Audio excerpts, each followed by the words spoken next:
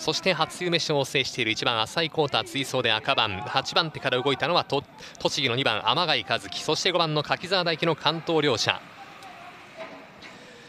天貝が3番手まで来ましてその後ろに9番の川口が乗っていく構えになりました。7番の松井は引いて7番手。前は広島勢変わりません。6番の村上。そして5番手から踏んでいった9番の川口浅井を連れてジャンで先行体制。それをめがけまして7番の松井光雄もスパート。インコースからは2番の天貝和樹中段3番手伺いますが外目からかましていった7番の松井。9番の川口を叩いて南関東は2人で出ています。8番の立川は連結外れて最高峰。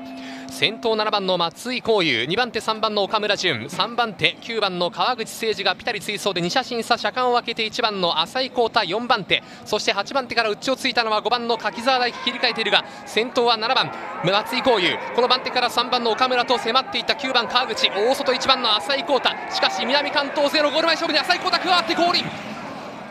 最後は届いたか1番浅井光太。